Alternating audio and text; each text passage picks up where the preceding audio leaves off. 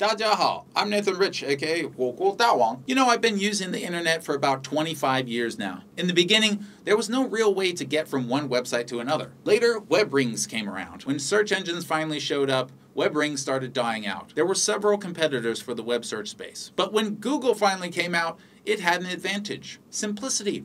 It was the only one that had a clean, simple interface. Its results were acceptable and it was very easy to use. That was enough to get it a place at the search engine table. It later adopted the phrase, don't be evil. I admit it. I used to think Google was the exception to the rule about corporations. I thought Google was interested in impartiality. It was going to focus on providing services without the evil practices of other corporations. And as far as I can tell, Google really wasn't evil. But those days are long gone now. And I admit I was wrong. I shouldn't have supported Google. And as Google is slowly trying to get into the China market, I must speak out. Google should never be allowed into China. I'm sorry to say, quite ironically, that Google is evil.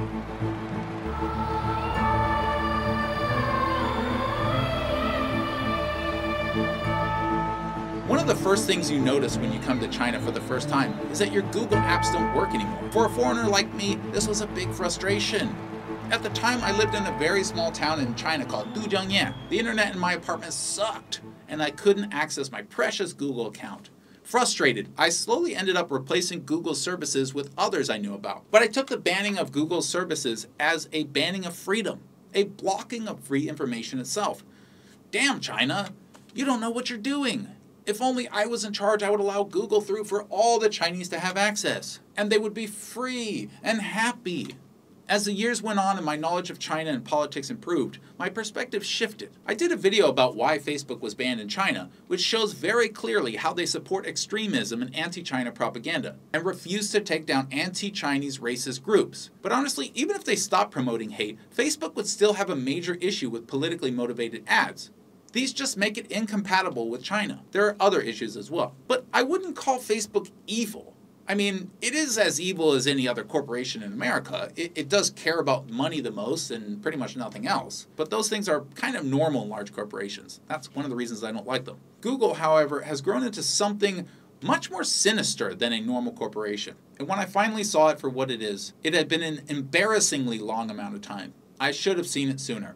And now that I see it clearly, I need to warn everybody as soon as possible. Now, if you don't know this already, then I have no idea where you've been. But the rest of the world has known for absolute fact that the US government uses Google products to spy for at least six years now. I've known this since I first became a systems administrator long, long, long before that.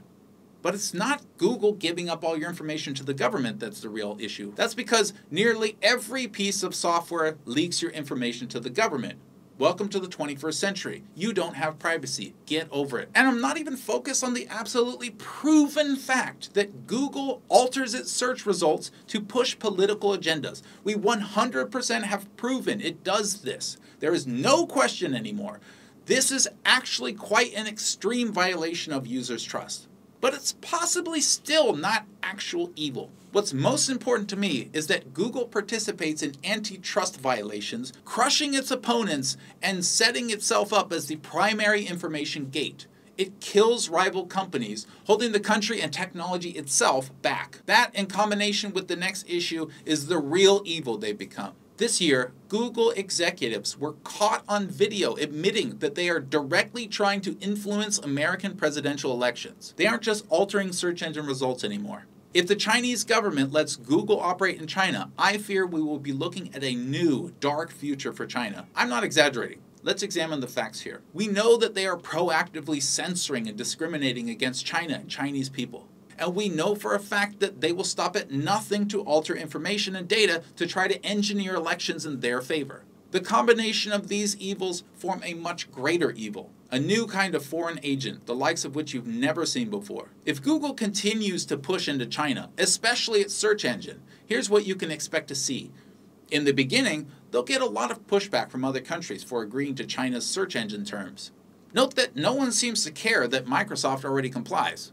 That's because people still think Google is somehow different than traditional corporations like Microsoft. They think it's not evil, but they're wrong. After the whining dies down, life will go on as usual.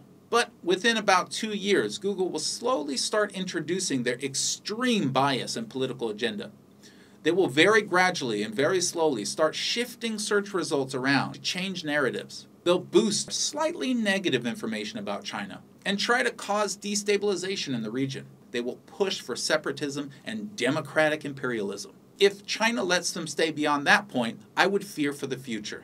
When I see Tide brand laundry detergent in China, I retch a little. I hate these enormous corporations trying to take over the world. But that's just me strongly preferring local brands and Chinese products inside of China, at, least where they're better or equal. But when I see that China has five Google offices, I get very nervous. You've seen how they treat my YouTube channel. And you've seen how they will try desperately to shape politics. They crush corporate opposition, which is exactly what they'll try to do to the Chinese companies, and intentionally promote anti China information. How about this screenshot I took from my phone? I just searched Hong Kong and looked at the top result. Beijing is preparing for a massacre in Hong Kong.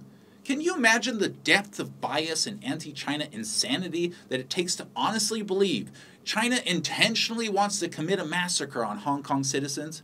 I mean, just really think about the frame of mind you would have to be in to honestly think that that were true. That's what Google is promoting. That's the message it will bring to China if you let them in. They aren't your friends. Don't accept their offers. Don't accept their contracts. Don't accept their presence in China. Think of how many millions of people saw that as the top result.